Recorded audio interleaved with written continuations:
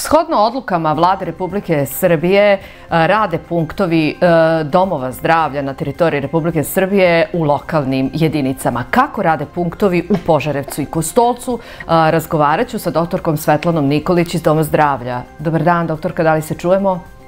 Dobar dan, čujemo se. Evo ovako, ono što nas najviše zanima u ovom trenutku shodno tome da se odluke, pa možemo reći, na dnevnom nivou menjaju i uh, ono što stvara veliku zabonu kod naših građana je kako stvari funkcionišu u ovom trenutku.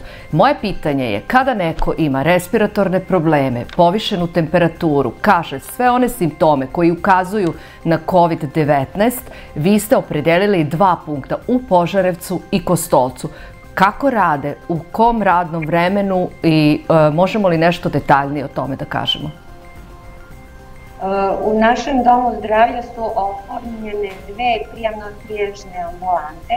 Jedna se nalazi u Požarevcu, a druga je u domu zdravlja u Kostolcu. E, prema najnovijim instrukcijama, naša trijažna, prijemno-trijažna ambulanta za pacijente sa respiratornim tegobama i febrilnim stanjem e, radi od 7 do 22 časa i u, i u, i u jednom i u drugom punktu. Tako da svi pacijenti koji imaju bilo kakve respiratorne simptome sa ili bez povišene temperature e, mogu da se jave e, dežurnom lekaru u ovim ambulantama. Dobro, i šta onda kada vas okrenu i kada se jave, koji je postupak? Oni mogu da e, se jave na određene brojeve telefona koje se nalaze na našem sajtu, na sajtu Doma zdravlja, posebno za Poželjevac, a posebno za Postolac, koje ću ja nakladno i citirati. E, mogu da se dakle jave na te brojeve telefona, da dobiju savet, a mogu da, da dođu i direktno ukoliko smatraju da njihovo zdravstveno stanje zahteva hitan pregled. E, pri dolasku u ovu ambulantu e, svaki pacijent se pregleda od strane dežurnog lekara. E, veoma se mnogo insistira na toj epidemiološkoj anamnezi, što, će mnogo, što mnogo znači i nama, a i važno i zbog pacijente, zbog nekih njihovih kontakata koji su ostvarili sa potencijalno zaraženim pacijentima Dakle, pregledaju se, e, na osnovu e, pregleda lekar e, utvrđuje i postavlja indikacije za laboratorijske preglede i za snimak pluća. Ove službe, znači laboratorijske, laboratorijski pregledi i snimak pluća se radi 24 časa. Kada prijemno-triježna ambulanta završi sa svojim radom, ove telefone iz respiratorne ambulante preuzima služba hitne pomoći i dalje je ona nadležna za sve pacijente koji se jave na pregled zbog tih respiratornih smetnji.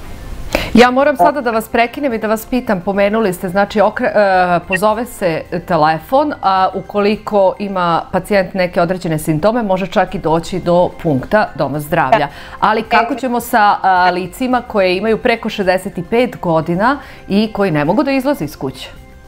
I naravno, kako ćemo posle od 17 časova pa nadalje? Pa mi smo se informisali, znači svaki pacijent može da dođe na pregled bez obzira osim ako nije vitalno ugrožen, kad je vitalno ugrožen, naravno da služba hitne pomoći ide ovaj, kod tog pacijenta, znači ako nije vitalno ugrožen, ako može da dođe, dolazi uh, samo začem i još jednom osobom kao pratnja. Znači to je... 17 časova, je li tako? Do? Do 17 časova. Pa, pa časa Do... posle toga. Izvinite, znači, nisam vas čula. Do, do 22 časa, bez obzira što je policijski čas, uh -huh. uh, zaustavi milicija, mi smo dobili informaciju da oni, ukoliko su na relaciji kuća uh, dom zdravlja, da nema nikakvih problema jer su došli zbog potreba da se pregledaju kod lekara. Dobro, sada mi je jasno. E sada, recite nam posle, kako ste malo pre pomenuli, posle 22 sata uh, građani mogu da okrenu hitnu pomoć. Jesam vas dobro razumela?